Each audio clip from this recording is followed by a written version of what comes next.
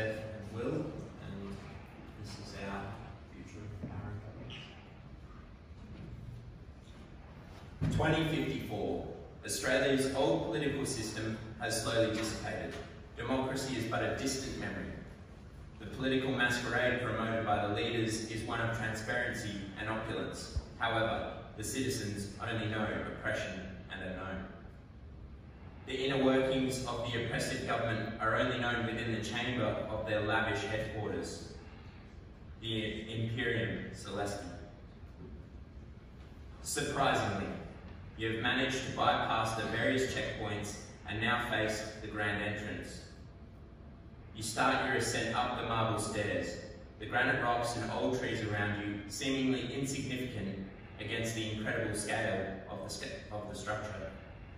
You begin to feel fear growing inside you. You think about turning back, but your mind is eager to uncover what lies ahead. The adrenaline coursing through your veins as you meet the mouth at the entrance, as it towers above you, making you feel small and insignificant. The sweeping forms of glistening rose gold and the opulent marble contrast the harsh, rocky terrain. You are baffled at the thought that there is so much decadence on display, considering the rest of the country is living in poverty. You proceed through the entrance. All seems normal, yet you get a weird feeling that you're being watched. Do they know I'm an imposter? You find yourself gazing out through the expansive glass in the foyer, amazed at how the building is nestled into the cliff face. The warmth of the sunlight filling the room settles your nerves. Suddenly, drones drop down. You quickly move away from the windows, making sure no one is looking. You notice the drones seem to be following you, conscious of your presence. You are stopped in your tracks by large, rusted bars.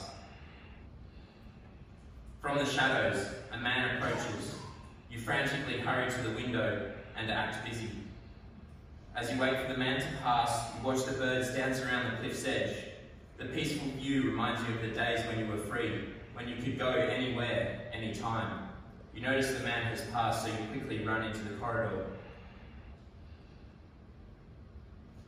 You can see the shadows of the drones bouncing in the light, knowing they are lurking outside the walls. The cliff face cuts into the walkway, catching the last glimpses of natural light. You come up to a barred gate. It abruptly swings open, revealing a dark and echoey cave. A spotlight reveals the damp, rugged texture of the cave before cutting out. Suddenly, the sound of surging power lights up the path before your eyes. You reluctantly follow. Eventually, you come to what appears to be a dead end. A faint white light seeps through a small gap. The noise of grinding rock echoes as the gap opens up. A dark room with a lit podium is revealed on the other side. A large number of dignitaries looking up at you in anticipation. A loud voice bellows from the towering throne. We've been waiting for your arrival. Take the podium. Pulling yourself together, you step forward, making your way to the stand.